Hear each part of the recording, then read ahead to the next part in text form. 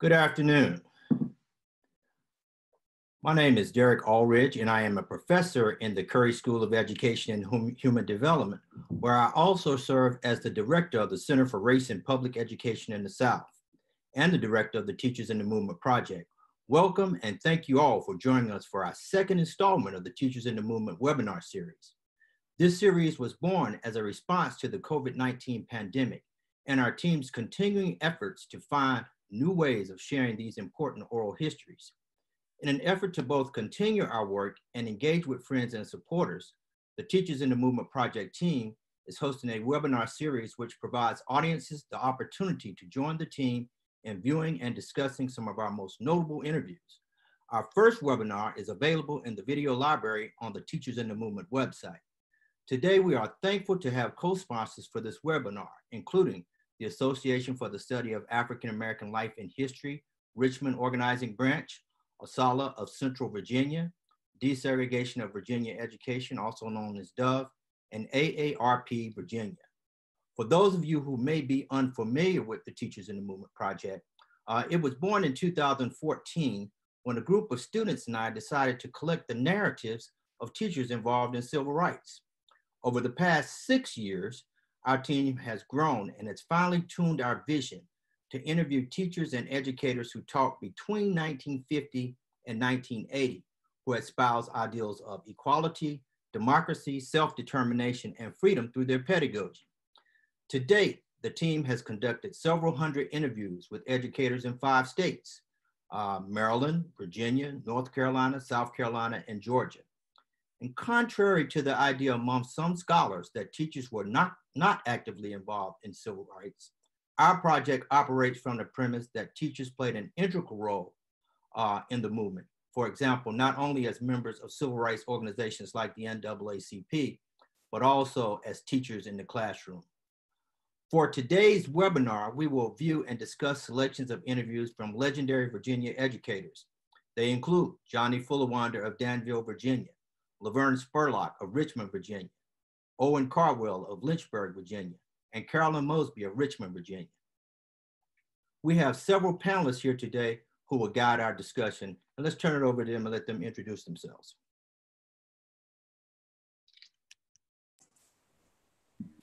Greetings.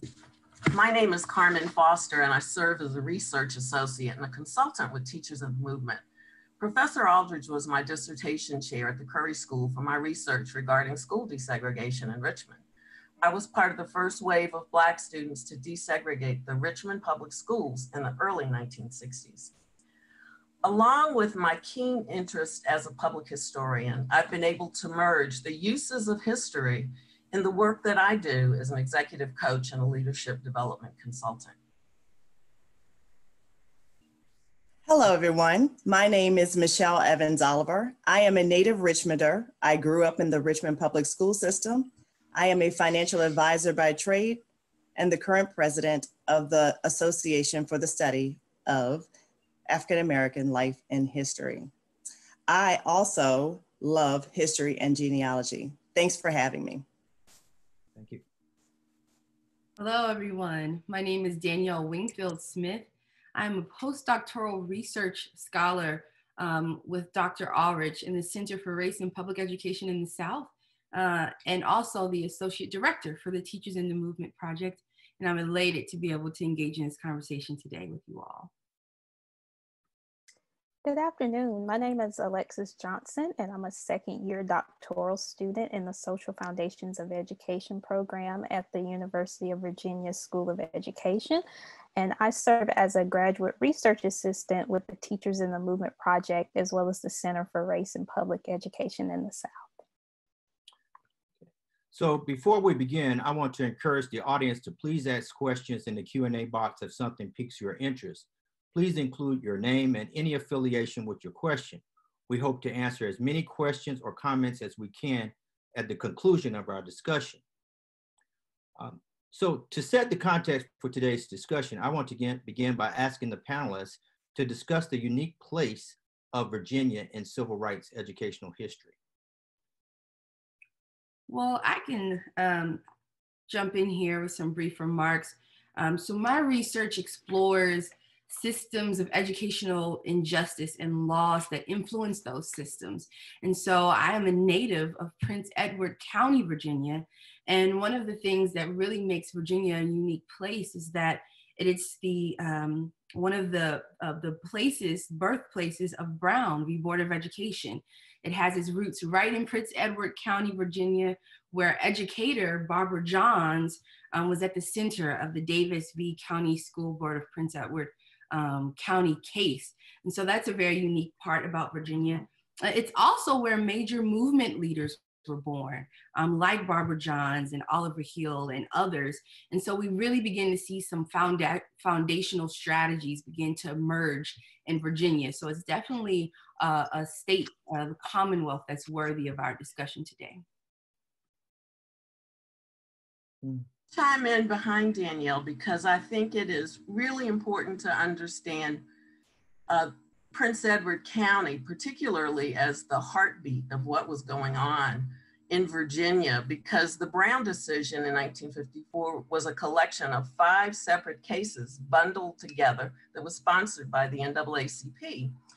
Um, but what was interesting about Davis versus the County School Board of Prince Edward was it was the only case of protest that originated, I'm sorry, that originated from student protests. Barbara Johns was a critical figure, I think, in Virginia history. She was just 16 years old when she was at the Robert Russell Moton High School in 1951. But what was more interesting was she was the niece of Reverend Vernon Johns, who was the pastor of Dexter Avenue Baptist Church in Montgomery, Alabama, prior to Martin Luther King what makes a lot of this significant is that finally Virginia has recognized the significance of both the Brown decision and Prince Edward's role in it, as you'll see that there's a Virginia civil rights statue featuring Barbara and the students on the grounds of the state capitol, along with recognition for Oliver Hill and Spotswood Robinson. Thank you one, one reason that I was interested in us focusing on Virginia and in particular, and particularly Virginia educators, is because when we think about popular images of the civil rights movement, we typically think about uh, uh, Alabama, Mississippi, uh, and Arkansas. And uh, you know, before I moved here in 2011, one of the questions that uh, I was asked by my colleagues who taught at, at, at the University of Georgia is, you, you study the civil rights movement, is there civil rights history in Virginia? and that was something that I found just a hilarious question because, I mean, it was the heart of the Confederacy, right? And so there was certainly uh, a civil rights history here.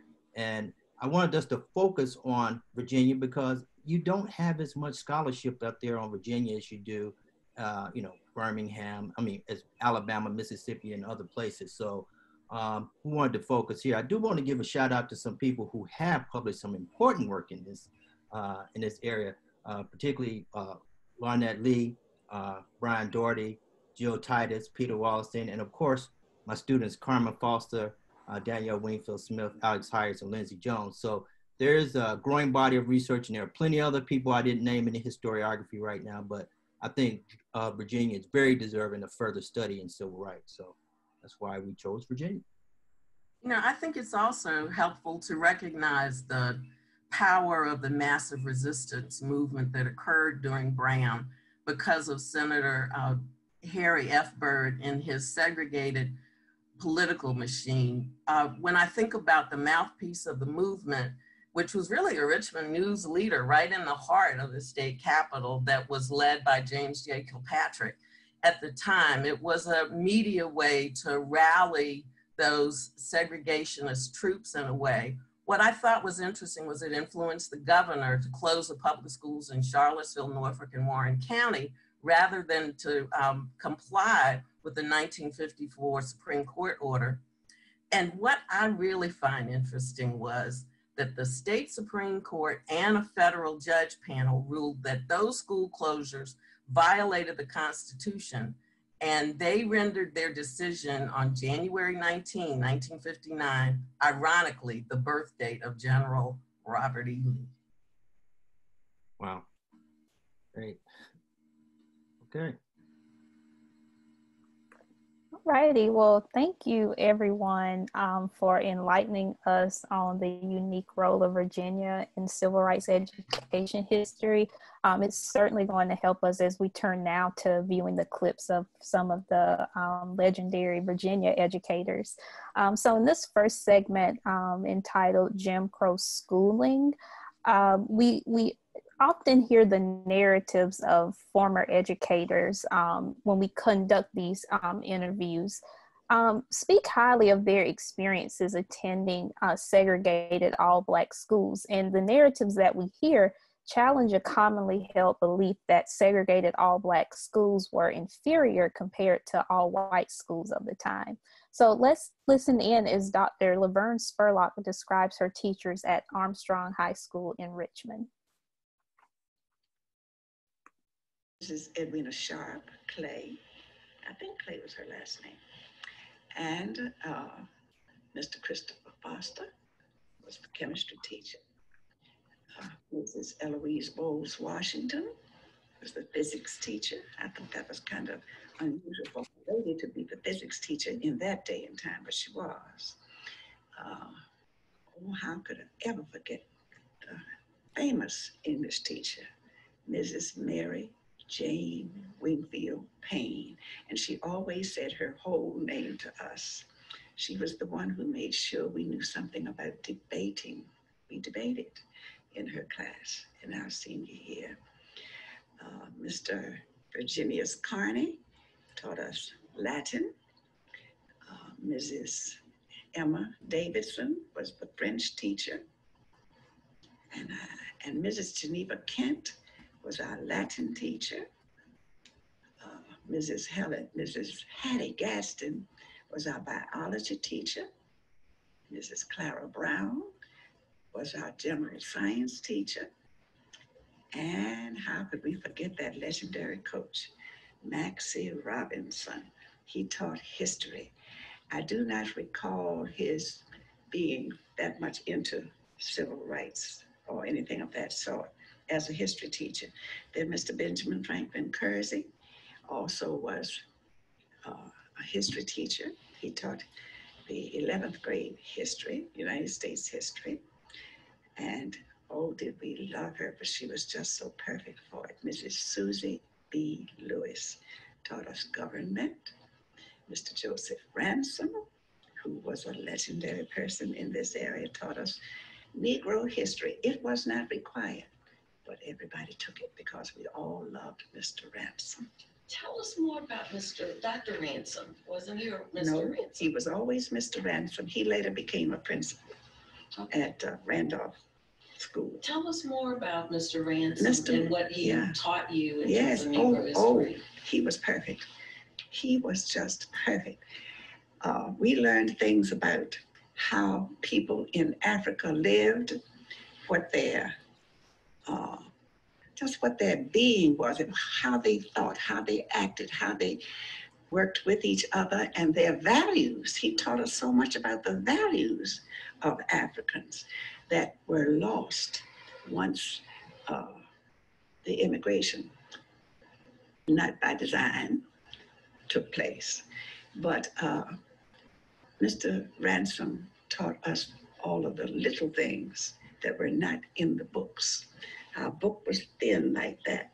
We strayed from the book quite often because Mr. Ransom was a reservoir of information about how blacks, the story of the Negro retold by Carter G. Woodson, that was the name of the book. Oh, you're calling on my memory today. You're doing great. All right, what a wonderful, wonderful clip.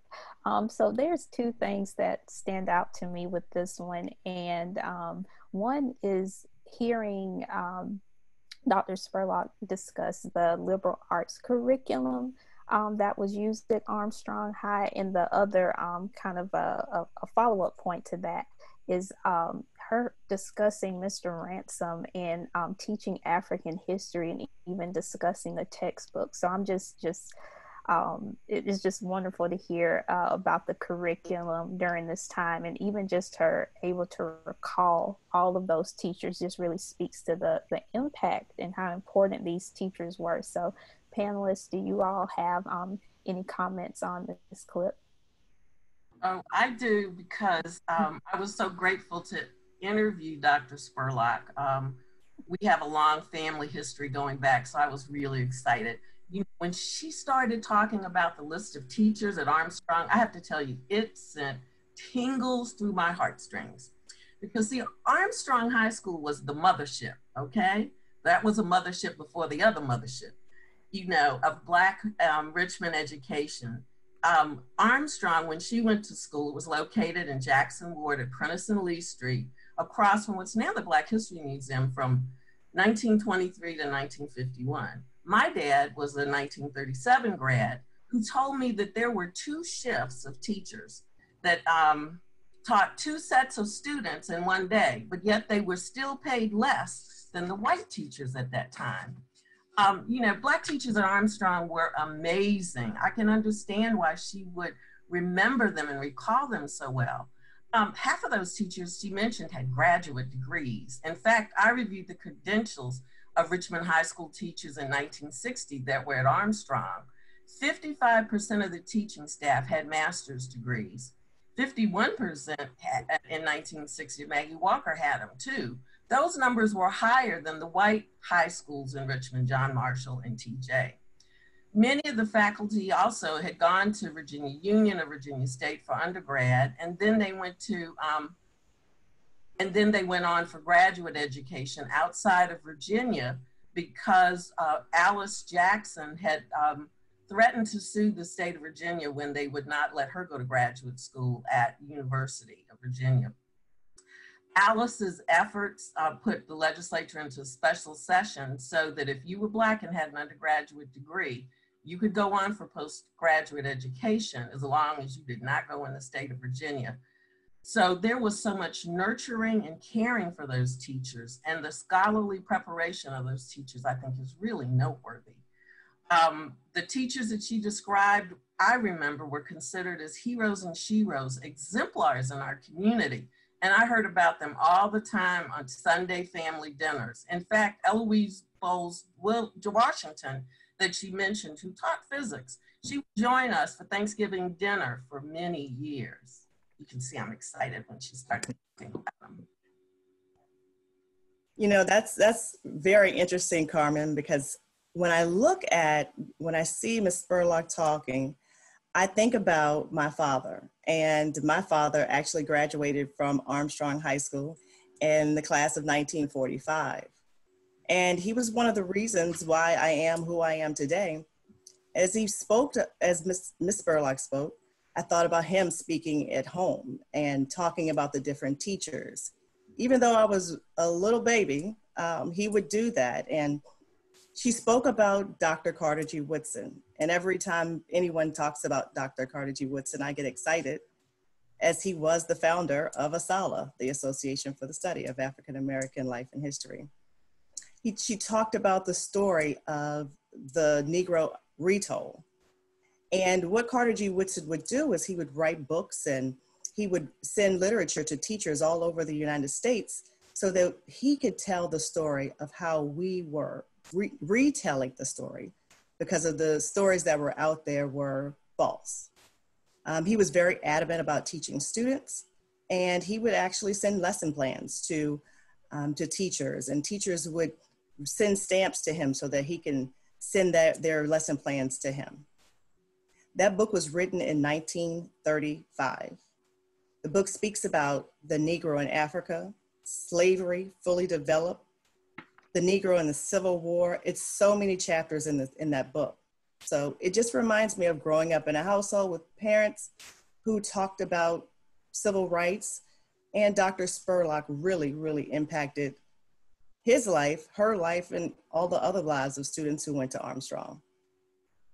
Mm-hmm. Well, I can't say much beyond what my colleagues have said, other than to say I was happy to hear Dr. Uh, Spurlock mention uh, uh, the fact that uh, Mr. Ransom used Woodson's um, work particularly the story of the Negro retold. As we know, as Michelle has already said, uh, Woodson was the teacher's teacher.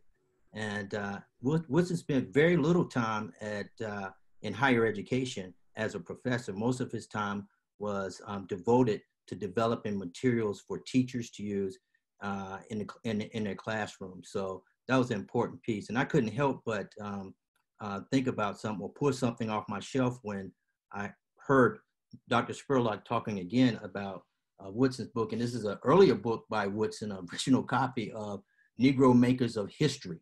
Uh, and this copy was on, believe it or not, by W.E.B. Du Bois. And um, Woodson looked at Black history as a form of emancipatory pedagogy. And I think if you if you if you if you consider that what he was doing in his time, putting forth ideas about emancipatory pedagogy, that would train the future generation of civil rights activists and educators. So I think that was a very important point, point that Dr. Um, uh, Spurlock made.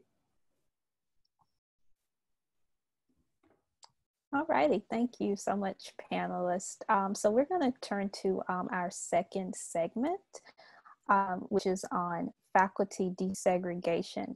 So, in master narratives of the civil rights movement, we often hear the stories of the incredibly heroic students who desegregated all white schools. But in the following clips, we will hear Mrs. Johnny Fuller Winder and Dr. Carolyn Mosby describe what it was like to desegregate all white schools as teachers. The Danville public school system. What was that experience like? Ooh, it was it, it was shocking. And the interesting thing is I didn't know that I was going to be the one to integrate it. The interview never suggested that I would be put in a position of that nature.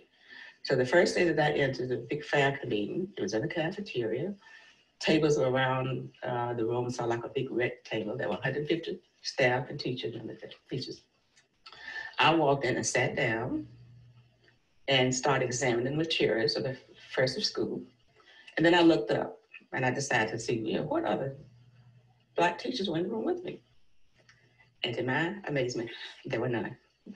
I was the only one. It was like, uh, am I dreaming? I mean, did this really happen? Where are all the other black teachers that were supposed to be here? I don't recall anybody telling me that I was going to be so like I called it a test case. We were seated by departments. So the people in my department were sort of cordial to me but the others had nothing to do with me whatsoever. I don't know if they were ignoring me or they too were in shock because I'm not sure that they had been warned of my coming. There was nothing in the newspaper about the fact that they were going to send a black person to George Washington High School. Nothing in the news media whatsoever. The only time later on my name had ever been mentioned, I was referred to as a Negro science teacher. My name had never been put in the newspaper. But when I realized that I was by myself, I just stood there shocked for a while, trying to figure out what in the world was going on. Is this for real? Am I actually dreaming? When the meeting ended, most of the teachers got up and just sort of went in their own direction. Nobody came to me to say anything to me. The administration apparently was involved in taking care of whatever they needed for the next activity. And none of them came up to me. So I just kind of felt that with this stress, I need to get away somewhere to myself and just kind of unwind. So I went into the restroom. When I went into the restroom, there were two teachers in there ahead of me. I spoke, they did not. When they looked and saw me, they heard, they washed their hands and left the restroom very quickly. I kind of walked around the building for a while, and to my shock, I was the only black person I saw in that entire building for that day. Before I left,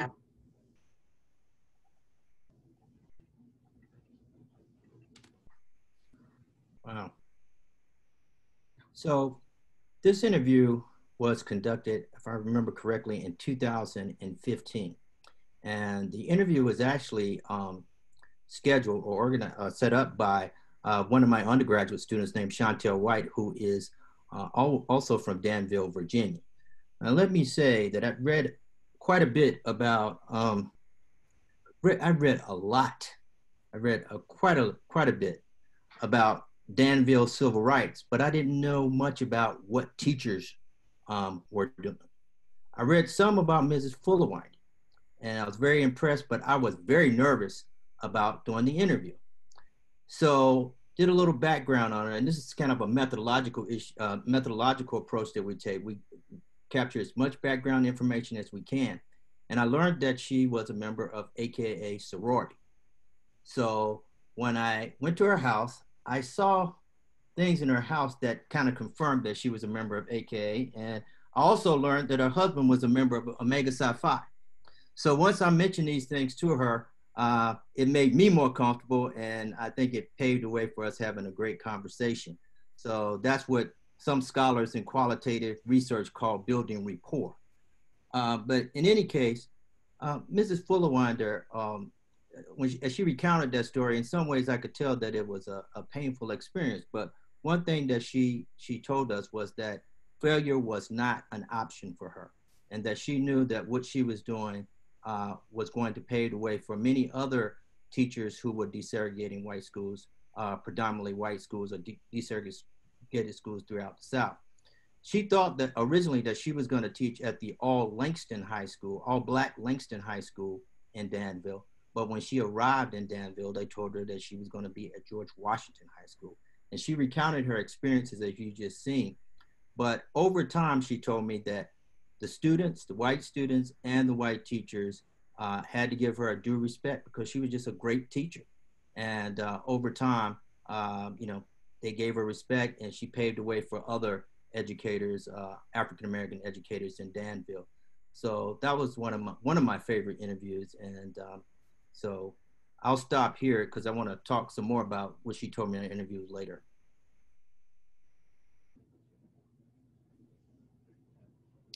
All right, panelists, do you have any um, other commentary on Mrs. Uh, Fullerwinder before we listen to um, Dr. Mosby's account?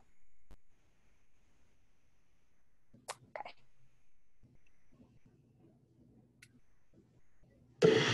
Tell me what that experience was like being transferred from Blackwell to John Marshall. Well, I tell you, I went there happy to go to the high school because I liked older students. And I had no idea I was the only black. So the first day you go and you go to the teacher's room where everybody's assembled. And I walked in looking for some black folk, and they weren't there.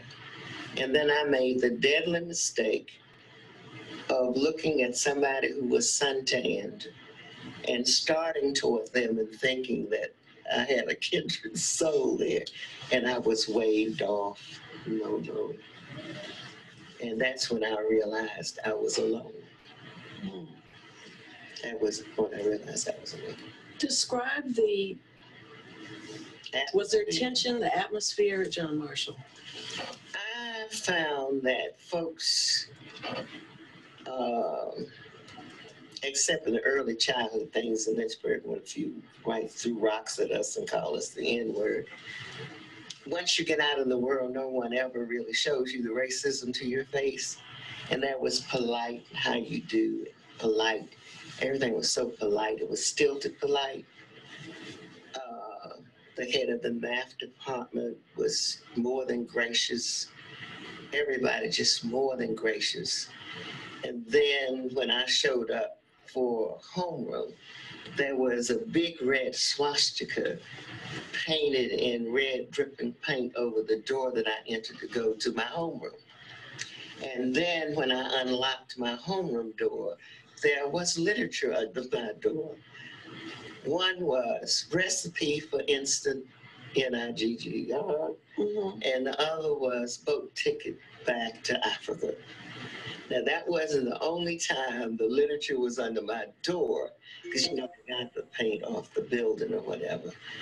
But then when the students came, there were already black students there because some of the students that were from your class and era and time It transferred from Chandler to John Marshall. And the black students who were already there were like relieved or so happy to see me. and would come by and speak and were gracious and lovely. Then there were some white students who were very gracious and lovely. But a lot of them just stared and viewed me with great suspicion. And they weighed everything that I said very heavily. It was uh, not very comfortable for a while. Then after a while, I think I became a little assertive about almost everything. Were you teaching math?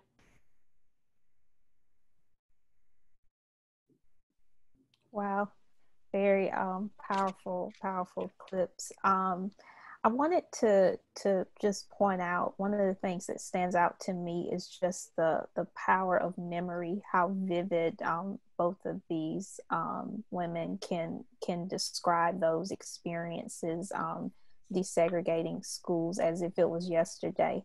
Um, I also think about the fact that they were Black women um, during this time, um, really true heroines. So I just want to, um, again, open the um, uh, questions up to um, the panelists to see if you all have any commentary on these clips. Sure, I'll start. I really enjoyed interviewing Dr. Mosby. Um, she was a real pioneer to desegregate high school faculty for Richmond Public Schools back then.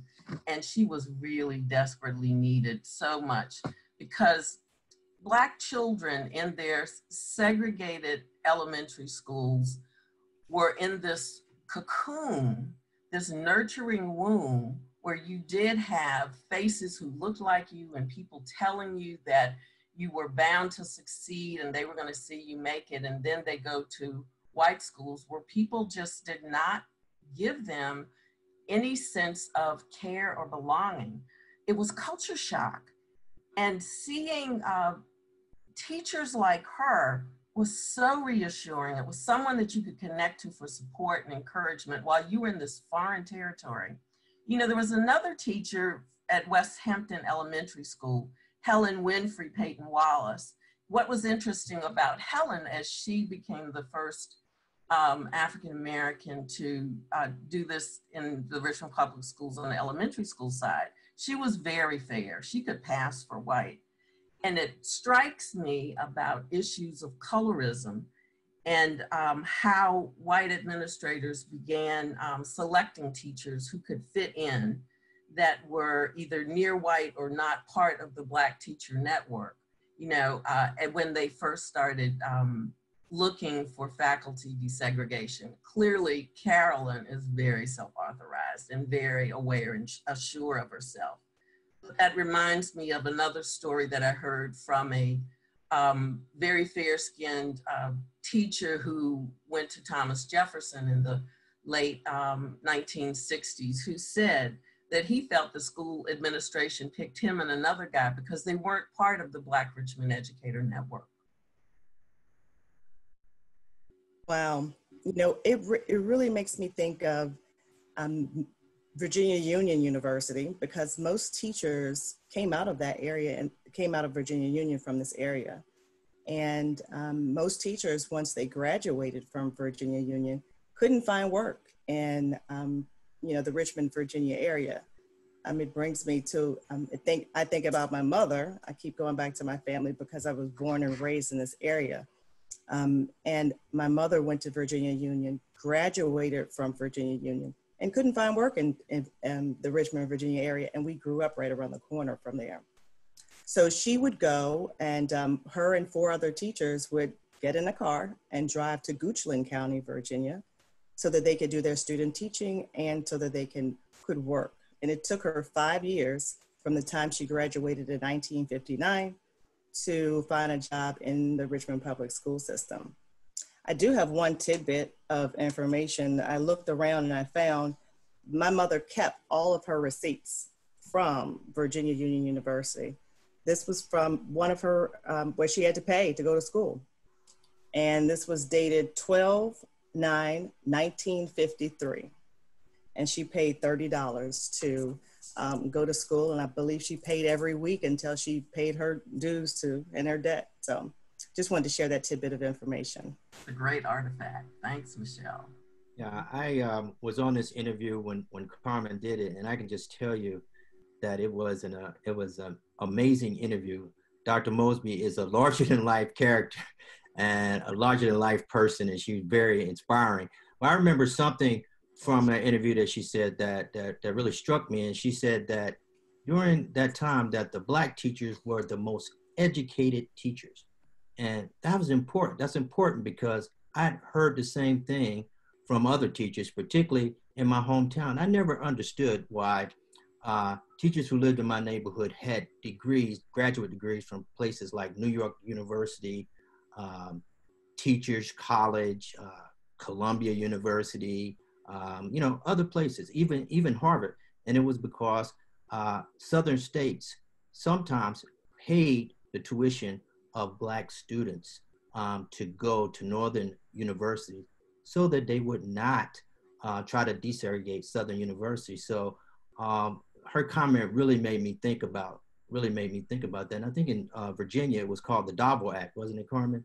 Mm-hmm, in 1935. 1935. So um, she's correct.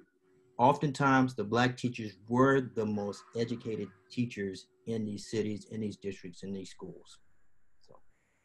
You know, and I think that's in juxtaposition to the story that people normally think about, where, where segregated black schools back then were just um, low quality and um, were just not uh, the kind of, of places and spaces where anybody would want to be educated. I think there's a paradox in that. While teachers did not have the resources, the schools did not have the resources, we had high quality educators yes. in segregation. Definitely. Right. Carolyn and um, and Laverne and uh, also uh, Mrs. Fullerwinder are uh, demonstrate that kind of quality that's there. Yeah, they they are what um, what Tondra Loder-Jackson calls in her book uh, Schoolhouse Activists. They were intellectual activists, right? Yes, yes, yes. All right, thank you so much, panelists, for that that wonderful um, commentary. So we're going to move into our third segment, um, which is on pedagogy. So a major focus of the Teachers in the Movement project is our focus on um, what teachers taught and also how they taught. So in this clip, we're going to listen in as Mrs. Fullerwinder describes her teaching methods. So you taught biology and physical science. Physical science. What, what was your your your method, your teaching method? How, how did you teach? Do you did you were you an interactive teacher or were you a lecturer? I just like to know. It's just interesting. I, I, did, I did a variety. I did a lot a lot of uh, hands-on, a lot of independent uh, investigation because I had access to all of those microscopes. And I was able to put students in little small groups. And then there were times that I would lecture. I just did a combination of someone called to my attention a little bit later on that your teaching is so different from of the teachers here. They do a lot of lecture.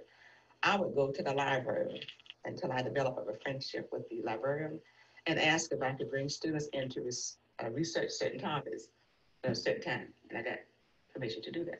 So we would go as a group to the library. We would do research. We would do some little mini, what I call mini field trips.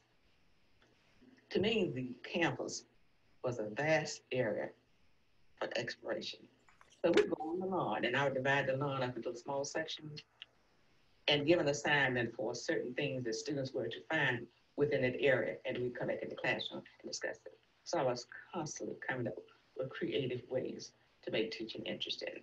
And students seemed so interested in my classes, we were on a semester basis. The second semester, several of them who did not seem to like me when I first entered we're going to the guidance counselor to ask if they could be transferred to my class.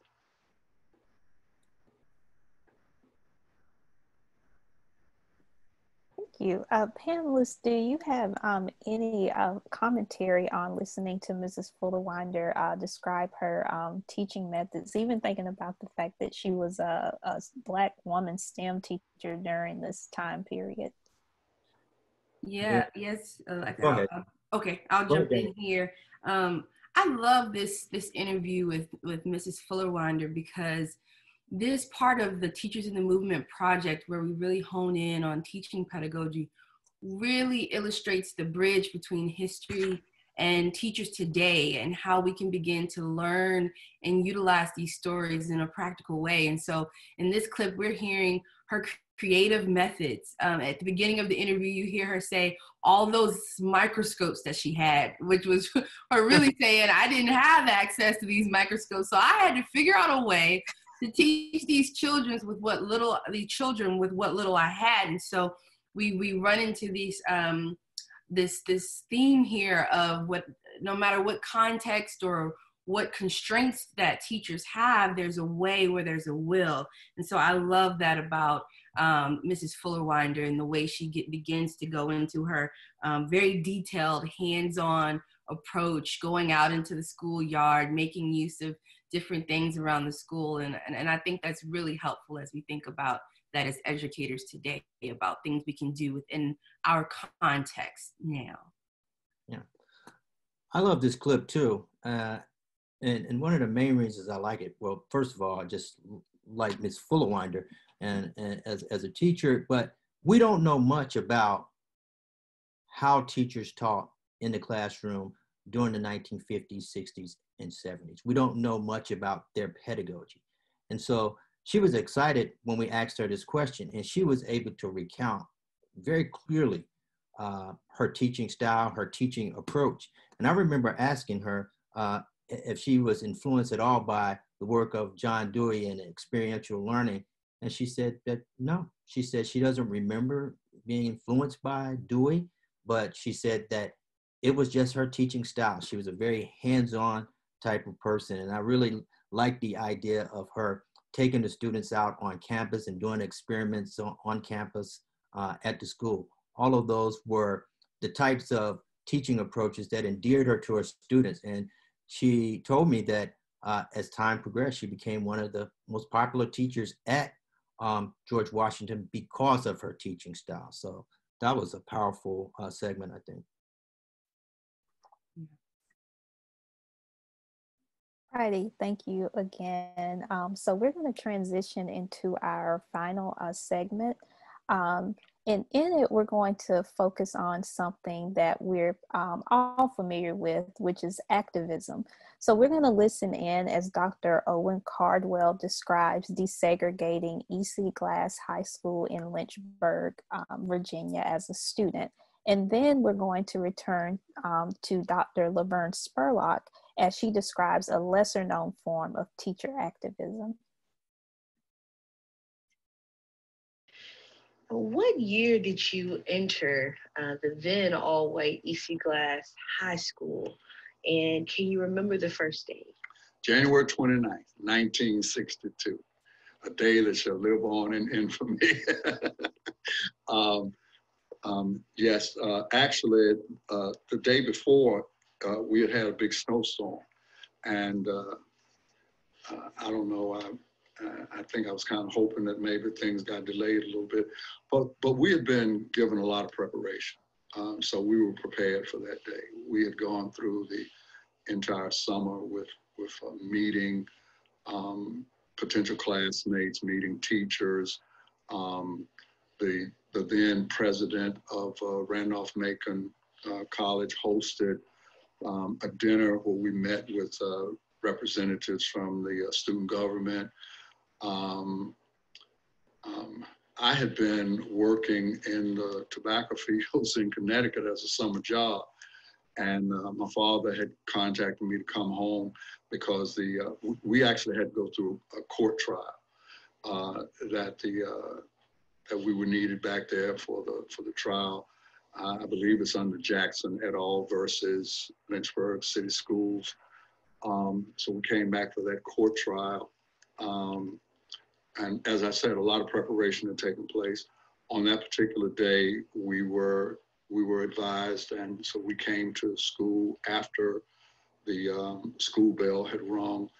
Um, we were immediately taken to our homeroom, um, Linda Woodruff and I. Um, and um, there were actually four of four of us that had sued the school system. The truth of the matter is that initially there were 32 persons um, that had um, attended uh, uh, a meeting at, uh, at Diamond Hill Baptist Church under, under Dr. Wood and offered the opportunity to participate in a class action suit against the school. Many of those uh, families, many of those children that were um, that initially signed on, uh, economic pressure was applied to their uh, families to withdraw, and most of them depended upon the um, the majority economy, you know, for their livelihood. Um, Brenda Hughes' mother was um, a local uh, a waitress in a local restaurant, black-owned restaurant. Cecilia Jackson's father was a dentist. Um, um, Linda Woodruff's father uh, worked uh, for the Postal Service, but he uh, rode on the train back and forth between Lynchburg and Washington, D.C. And my father was the manager of a black insurance company. So they were not dependent uh, on that economy. And uh, when the uh, courts made the decision um, to desegregate the schools, they, they did something that I consider to be really arbitrary. They, they decided that based on supposed IQ scores that Linda and I could handle going in the middle of a school year. I want you to get it that this was January 29th, the middle of a school year, and that Brenda and Cecilia would come at the beginning of the next school year. But the truth of the matter is, is that all of us had IQ scores that were higher than probably 95% of the kids that we were going to be going to school with. And so uh, Linda and I be, uh, ended up being the, the first two, but I, you know, I give Brenda and Cecilia all the credit for, for being part of that. It was not their choice. Um, and so I, I consider them to be, um, you know, as much a part of the desegregation process as us.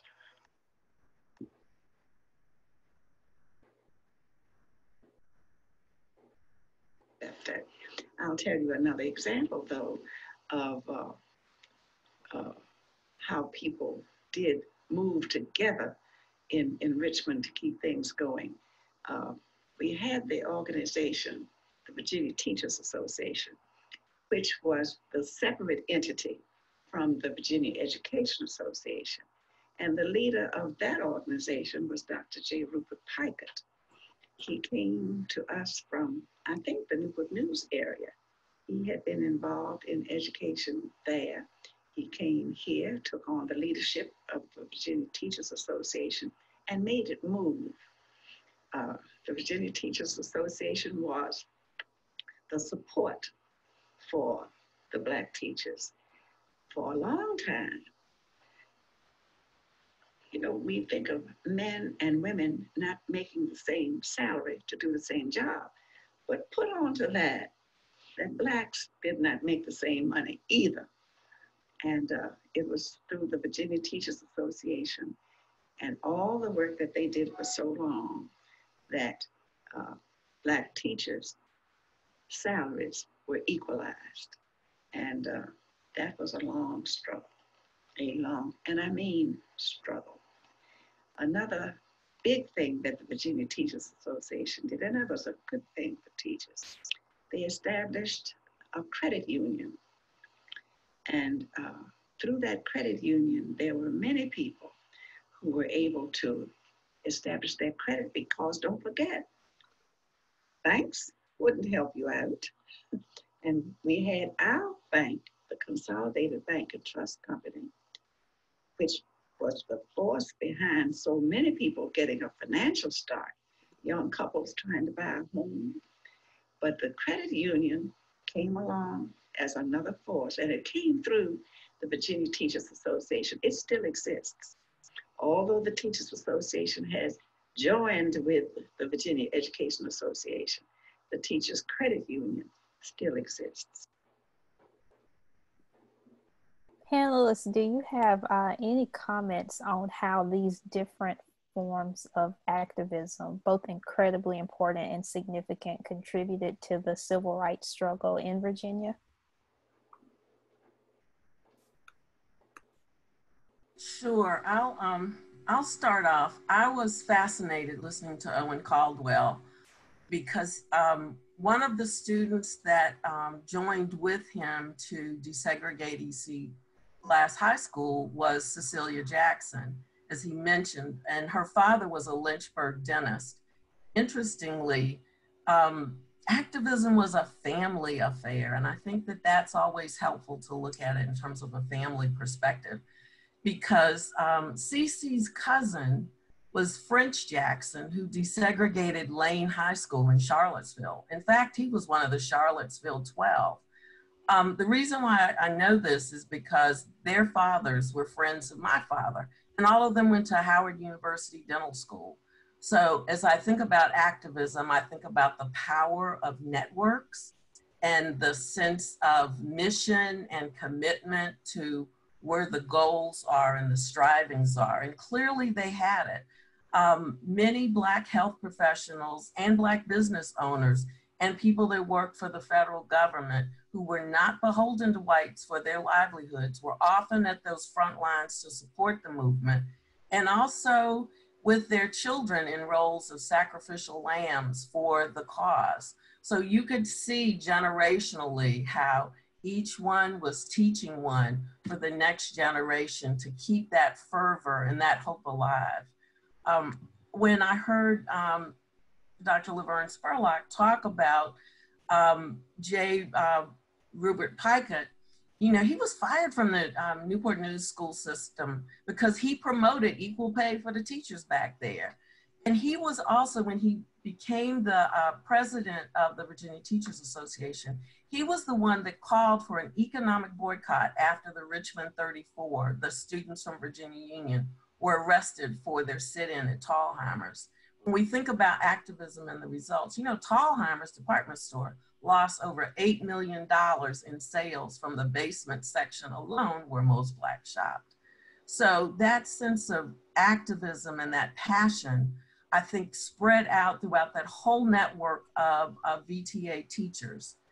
Um, um, I also know that um, my uncle Skip was um, the first executive director for the teachers union and he had worked at Consolidated Bank. He earned an MBA from Boston University, like Professor Alridge talked about. Many Virginians got a graduate education thanks to the state of Virginia because they didn't want to desegregate the universities. But he was also the treasurer of the Richmond NAACP for 40 years. So you could see this tight network of activists between teachers, people that were involved in the NAACP and supporting things that were crucial and important for the next generation.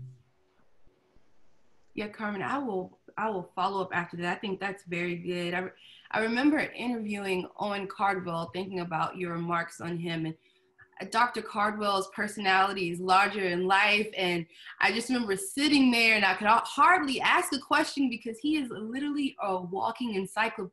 He remembers the details of every single thing, and I think that interview is such a powerful one to show today to demonstrate the power the power and importance of oral history and how you can get the in between that you can't get from just reading a history book.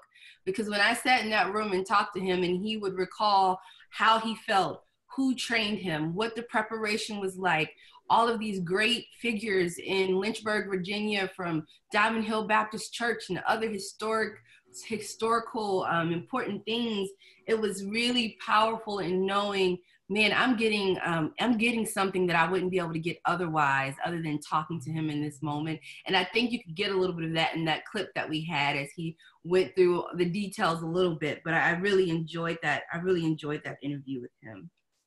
Mm-hmm.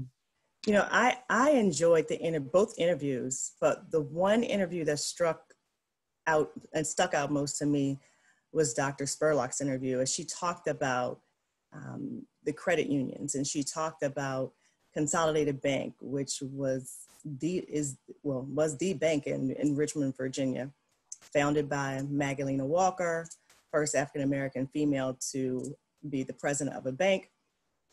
Me being a financial advisor by trade, that I love money. So knowing that African Americans still have financial um, problems and and we are discriminated against, it really, really was prevalent back in when Dr. Spurlock was a teacher.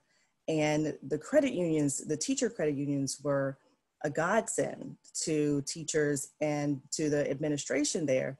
Um, during the 1950s and 60s, they were treated unfairly, discriminated against for loans, even though they had stellar credit scores. And which mortgage loans was one of them. Starting that started the Fair Credit Act back in 1968. The teacher credit unions were there to give them security so that they can put their money in a bank and know that the money will be there when they wanted to take it out, as well as they knew that they weren't going to get abused or exploited and they would be being treated fairly. Well, I can also give you the story, some stories of some of my clients who are retired school teachers. And when I say that they were they are well off and they're living pretty and nice, they were able to save enough money so that when they retired, they were able to just sit back, relax, and enjoy retirement life without having to um, work and be unsecure. So I think those those things. Dr. Spurlock spoke about resilience and the resiliency that she spoke about and that she had, as well as all of the teachers, made the students resilient. And that's one of the reasons why some of us and most of us are the way we are today.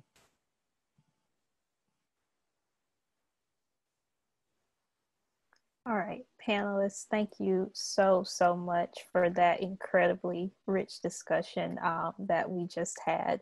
Um, we're, what we're going to do now is turn um, to our Q&A segment um, because I'm sure the audience has plenty of questions um, they want to, to ask you all.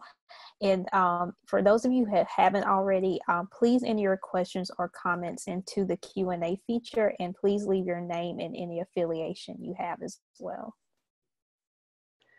So our first question came in from Isaiah. Um, he asked early on in the webinar, so it appears many civil rights movements were started by youth. Why? That's a good question. Hmm. I think I think some of it is just as simple as uh, they had a evolving and different worldview than their parents and their grandparents. Number two, they had the energy as well. So you know, just those two things, and they were supposed to to to, to more you know to more ideas, right? So uh, if you think about the generation of um, teachers who came through during the 1960s, they were exposed to different ideas than teachers who came along in the 1920s. So you know, I'm often asked, what was it about the teachers in the 1950s and 60s that made them different. I think it was just the society was opening up uh, for young people in a way uh, during that period that it hadn't in an, earlier period. So I think context means um, everything as well.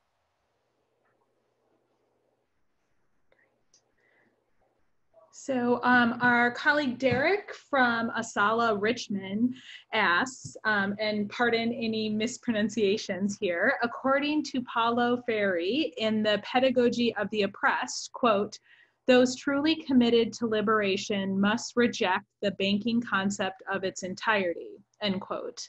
How do we use, how do we use teachers in the movement to transform public education to help present day teachers develop a sense of consciousness and understanding for the importance of telling these narratives? Well, that's kind of a, a, a, a practical and uh, practical and pragmatic question that that we think about all the time. So let me just say that every summer we hold a teachers institute, and we bring in teachers um, from across Virginia who are teaching now to work with us uh, on the oral histories that we've collected over the years. We give them training in oral history methods, and we have conversations with them about what they viewed in these videos. But we also devote one day to having a forum of sorts where we have a panel discussion and we allow uh, the teachers to ask them any question, contemporary teachers to ask them any questions about things that they're struggling with in the classroom in terms of their pedagogy. The issue of banking, the banking concept that you mentioned uh, by Paulo Freire, that comes up. and it's it, it, it's really a spiritual. It's been a spiritual experience for me to watch these teachers across generations. Someone who's teaching in 2019 to ask a teacher like uh, Dr. Spurlock, you know, how can I reach these kids? They're very difficult to reach. Uh, they don't seem to want to know much about Black history. And Dr. Le- Laverne Spurlock, I remember her saying, take one at a time. If you can't teach all of them at the same, just take one at a time. And over time, you'll get some momentum and the other um, uh, students will come along. So um, we have that actual video on the Teachers in the Movement website if anyone wants to see it. So uh, that's what we have to do. We have to put them in conversation with one another. I would agree um, with Professor Alridge um, that it does, it's one at a time, particularly because we're in a, we've been in a different environment as we shifted from segregated schools to desegregated schools to presumably integrated schools that are still now desegregated. We've lost some generations, in my view, that um, where we were able to pass the baton um, more directly because we had, um, as, as Black teachers, there was agency over Black students now with things being integrated, I think that um, people are anxious about what to say and what not to say, or sometimes suppressed by what it is they can say to their students. Um, during segregated um, schooling in the 50s, uh, Black teachers could have conversations with their students because they were also part of that community. Whereas now, when we look at schooling, there is a difference because many times um, African American children, children of color, are not taught by people that are connected to their cultural background. But that doesn't mean that the advocacy can't happen. We have to be creative to consider it in different ways so that we're using that history that we know is important to convey to the next generation it may not be necessarily schooling. It may be in how we interface with our communities differently, nonprofit organizations, and really push with technology available that we didn't have back in an earlier era. How do we begin to focus? And again, like Dr. Spurlock said, how do you begin to start out with, with at least one and then build that exponentially? That takes leadership.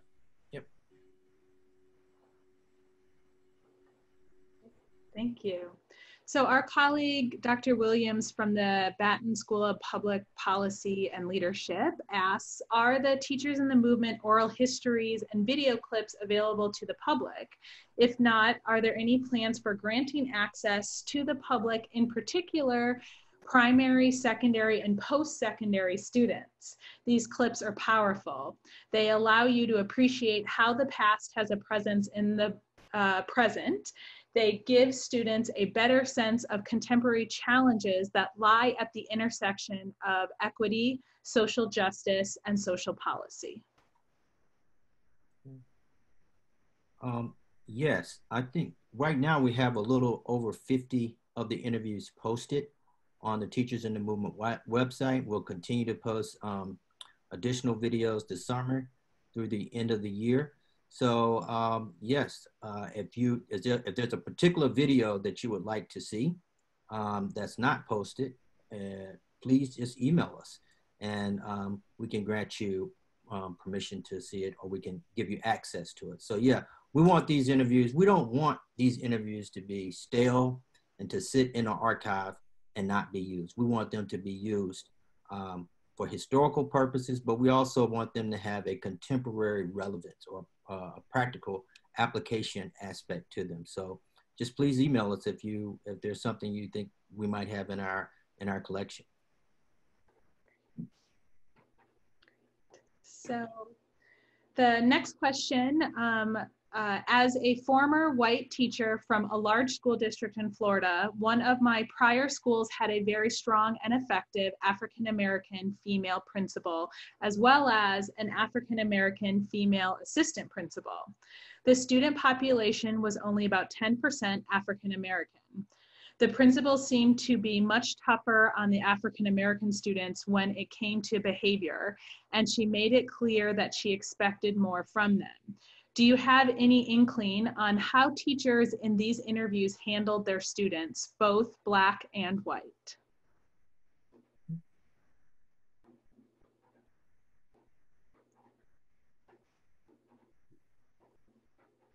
Well, I we we haven't asked the um, uh, teachers a, uh, a question regarding what the um, this person just just raised, but uh, we do know that black teachers expected black students to perform at very high levels. Uh, I would venture to say that that's not only in the past, but in the present too. So um, yes, I, I, I can agree with that um, based on you know, just kind of tangentially what people have said in our interviews, but that's not a question that we ask them directly. Um, my other colleagues may have uh, some input in that regarding that. No, I think that's right, Professor Alridge. Um, I think that's exactly right. The only other thing that comes to mind is Mrs. Fullerwinder's interview, I'm, I'm pretty sure, where she discusses that she kind of removed race in her classroom and tried to teach um, all the students, you know, equally and with as much fervor and excitement as she could. Um, but I think that you're right in that um, the expectations were high from from these Black educators, especially for for, for all of their students, really. Yeah. Great. Um, the next question was a reference to something that a panelist mentioned uh, in the beginning of the webinar. What was the name of the book or textbook that was mentioned at the beginning of the interviews in reference to what's being used in the classroom? Another attendee thought it was the Carter G. Woodson Negro Retold. Story of the Negro Retold. I think Michelle talked about that one. Um, what year was it published, Michelle? You remember? It was published in 1935. Right. Um, you probably can find it in a lot of the university bookstores. Um, I looked at it online a few um, hours ago, and they they have one um, for $150 on eBay. So they're very expensive. So I'm not sure where you can find it. I know that I found um, a copy of it online um, at a university. And, and, and I mentioned also another book by Woodson called Negro Makers of History, which was published in 1928. Thank you. Another question came in um, from someone from Henrico County Public Schools. I noticed that a common thread among the teachers was having a network of support during their tenure as educators. I think that Black teachers today are drained, largely due to our internalizing the impact the system has on African American students' success or lack thereof. I don't know that we feel entirely supported or if schools empathize with us in that regard. Are there similar organizations operating for Black teachers today? Mm.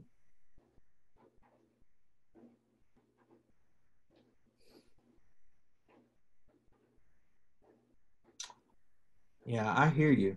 Because uh, teachers certainly had uh, some support, black teachers there. I'm thinking about, you know, the um, uh, ATA, the Palmetto Teachers Association in South Carolina, which was the Black Teachers Association, uh, whatnot. So there were many Black Teachers Association which um, provided great support, not only um, uh, curriculum support, but support also as it pertained to uh, legal issues as well. So I'm not aware of an organization that focuses.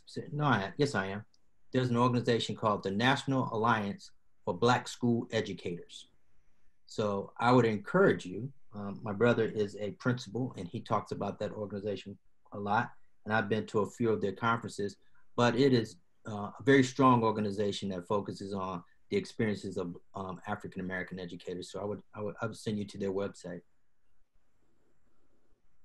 I would also think that in addition to formal organizations like you uh, suggested, um, Professor Alridge, um, if you don't see one, how can you be a source for change? How can you begin to again, thinking about um, Dr. Laverne Spurlock's um, suggestion, how do you start with one? How do you begin to build informal networks that may grow as, as you and other um, educators begin to talk about the stresses because there is a real serious need in our communities to focus on self-care and uh, how particularly for those educators women and men who can begin to ask themselves what do they need to take care of themselves so that they can garner the resilient strategies that they need to keep hope alive, not just for the kids, but for themselves, because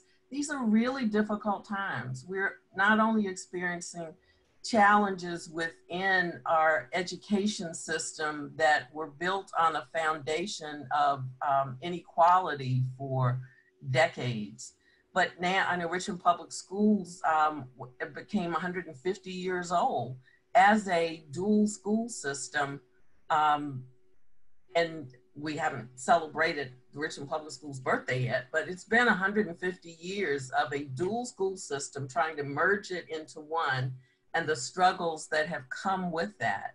Um, teachers are um, the lifeblood of our children, and we can see that right now while we're dealing with COVID, that not having those teachers in place, I hope parents have a real respect for how important teachers are. And this is Teacher Appreciation Week, by the way.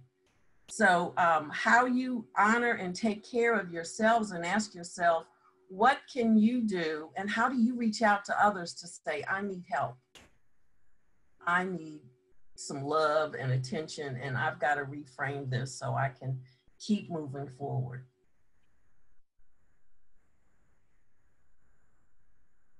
Thank you.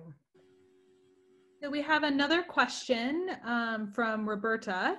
Uh, within the last four days, I spoke with a parent who had students in a Chesterfield public high school and another parent who had two students in an Andover high school who had no black teachers during their entire time in high school.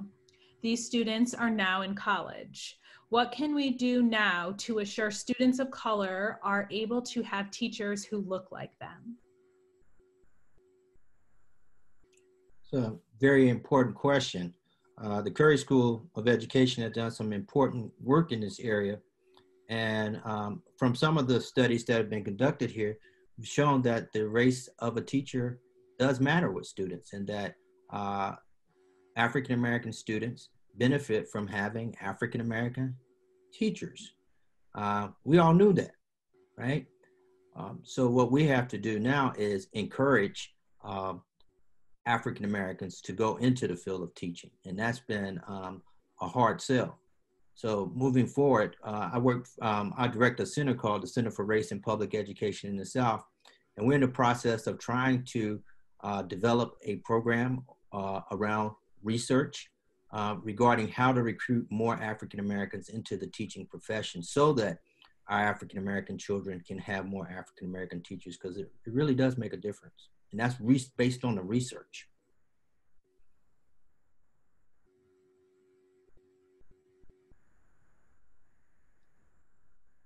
So we would welcome any other questions or comments from attendees or panelists as well.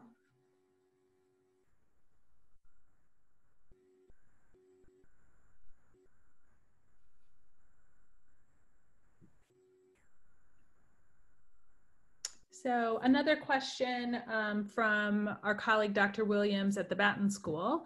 Considering the impact and disruption of the COVID-19 pandemic on primary and secondary education and instruction, do you see the collection and utilization of oral histories by these students as a viable option for them to play an active and engaged role in learning and appreciating history? Good question. We're just talking about that with a colleague of mine who works in the Center for Race and Public Education in the South. And uh, we don't, we, we want to eventually move to a place where we're training uh, young people to do these oral histories. Uh, this summer, uh, the center that I just spoke about is going to hold eh, host a freedom school that's uh, sponsored by the Children's Defense Fund. A part of the Children's Defense Fund, uh, a part of our curriculum for that freedom school will be to train uh, young children or students rather from grades three to five in methods of oral history.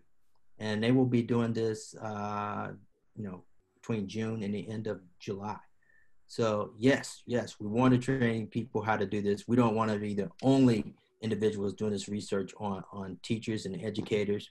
And so we're trying to develop ways to, to, to get to get young people involved. And let me just add too that it has become more difficult for us to conduct interviews in this COVID-19 environment, but we're doing them uh, via phone and we're doing them on Zoom because we just can't wait.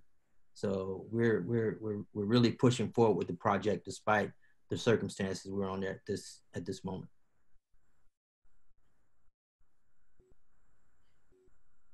So another question, and pardon again any mispronunciations. Um, are you actively assisting with preserving the Rosenwald School of Virginia and the oral histories of students and teachers involved?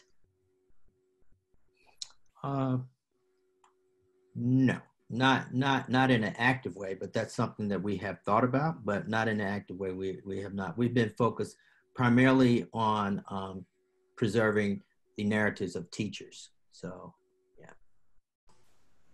I can lead into that. And um, ASALH Richmond started, um, we formed in late 2019. And we have reached out to a few of the Rosenwald schools. Unfortunately, COVID 19 happened. So we were not able to meet and to discuss to see how we can assist. But once this pandemic is over, ASALH Richmond will be active in the Rosenwald schools here in the central Richmond, Virginia area, and even in the Virginia area if they need our help.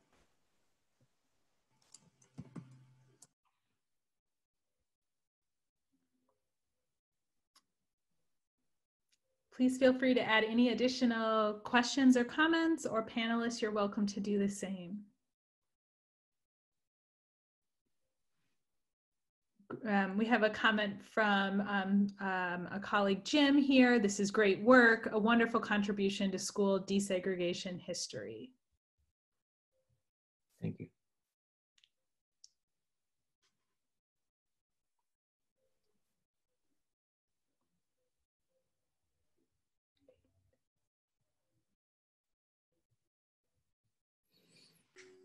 You know, one one observation I might make as um, someone who's been doing these oral histories and who also has lived from childhood to adulthood, now to elderhood, um, through the movement is um, how priceless educators are in your role over your your your life stages uh, because that's how you learn not only about um, intellectual and academics, but that's also how you learn about life.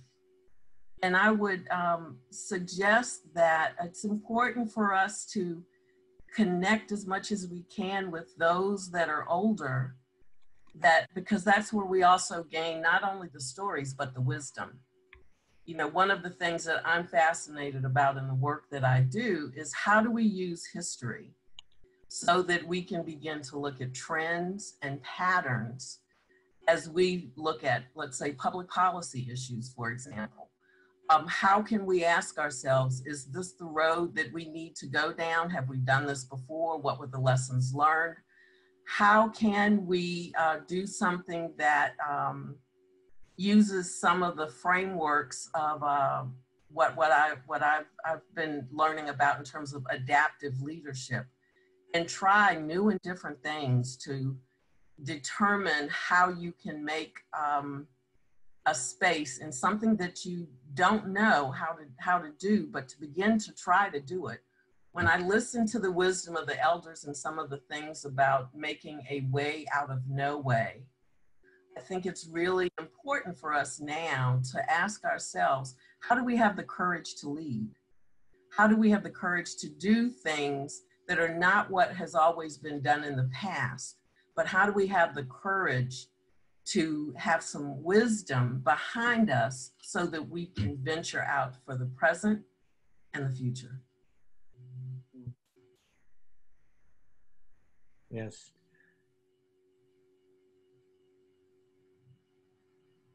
So let me just say this too, before we conclude, and that is that we are seeking individuals to interview. Um, we're not allowing this uh, COVID-19 to stop us. As I said earlier, we are conducting interview, phone interviews. We are conducting interviews on Zoom and uh, you know other platforms. So if you know of someone that you believe we should contact or that we should interview, please uh, send your information to us. Uh, Leslie can provide uh, in the chat um, the address, the email address. It may be on this well on a slide, but if you provide that for for people, Leslie, that would would be greatly appreciated. But please email us. We've uh, during our last webinar, we had a number of individuals to email us, and we've already set up interviews um, from you know recommendations that we received from our last interviews. So thanks a lot. This concludes our second Teachers in the Movement discussion in our webinar series. We'd like to extend our sincere, sincere thanks to everyone for joining us here today. We're especially thankful to our co-sponsors, again, the Association for the Study of African American Life and History, ASALH Richmond Organizing Branch, uh, ASALH of Central uh, Virginia, Desegregation of Education, DOVE, um, of Virginia Education, DOVE, AARP Virginia. Uh, please be sure to follow us on social media at teachersinthemovement.com and use hashtag hashtag TIM webinar series. Please also visit our website, as I mentioned, teachers in the web, uh, teachersinthemovement.com for more interviews and our first webinar in the video library. Be sure to be on the lookout for our next webinar in this series. We hope you will join us again. Thank you.